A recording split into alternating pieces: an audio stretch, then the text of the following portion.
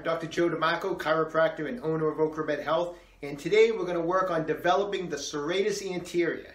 Now, this is the muscle that I always felt was made famous by Bruce Lee during his fight scenes. He'd take off his shirt, and you would see these crazy muscles up along the side. Uh, it looks like his ribs were popping out. Matter of fact, when I was a kid, I, I, used to see bodybuilders of Bruce Lee. I used to refer to it as like, wow, look at those rib muscles. You know, that's the serratus anterior. So let's take a look quickly at the anatomy of it first. So here's the anatomy of the serratus anterior. It originates off the first to the eighth, sometimes ninth rib, and it inserts into the entire anterior length of the medial border of the scapula. Therefore, the primary action is that it pulls the scapula forward around the thorax. All right, so there's the anatomy. Here it is, the serratus anterior. They're, they're up in here. They're actually, when you feel it, it actually feels hard because the muscles are right around, wrapped right around the rib. And they call it the box's muscle because of that motion of how it pulls, the, how it makes the scapular ro uh, rotate around the thorax. So that muscle, in order to make your scapula come around like this, like you're throwing a punch, that serratus anterior is what is contracting when that happens. So the muscle, the serratus anterior contracts, and that scapula comes around the thorax. So that's why they call it the boxer's muscle. When you're throwing a punch, the serratus anterior is involved.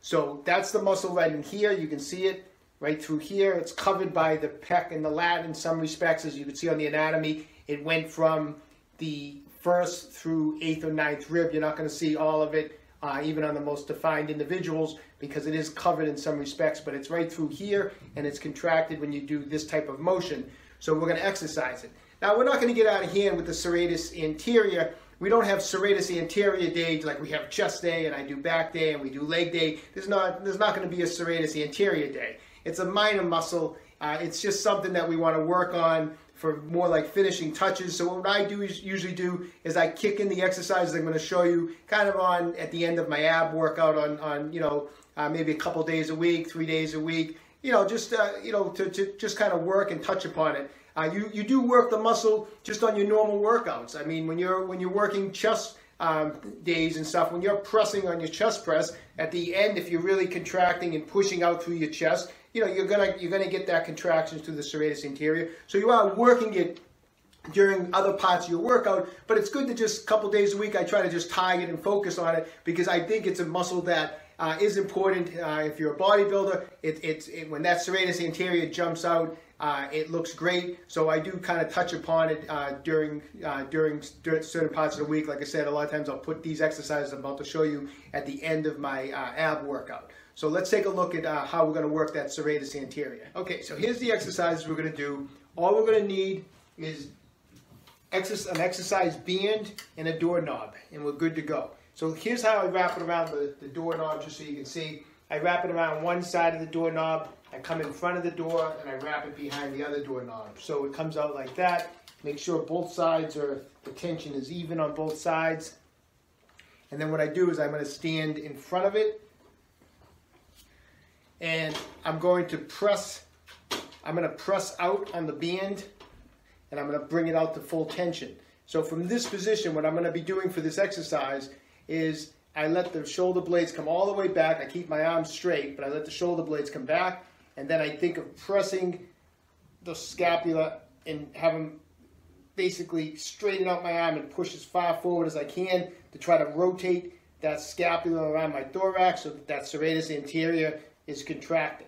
So the motion of this is very subtle. I bring it back, and then I push as far as I can. And I'll actually hold this, uh, and I'll do it for 10 counts. So I'm going to come across, I'm going to hold it for a 10 count, and the whole time I'm counting for, to 10, I'm just pushing my hands as far forward, trying to touch the wall in front of me, and I'm holding it for 10 seconds, and then I let it all relax, and then again. And I'll do that actually for 10, 10 repetitions, where each repetition I'm holding it for a 10 count. And as you can see, as you're doing that, the serratus anterior is working as it's trying to contract to pull that, that scapula around the thorax. So that's the motion. Arms, it's important parts. Arms have to be straight. And the um, motion is thinking of pushing the hands forward and just holding for a count of 10.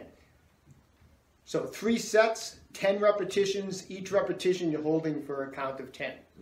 After I do that, what I'll do is I'll actually take the I'll take the band and I'll just basically let me show you on this side. I think you get a better view.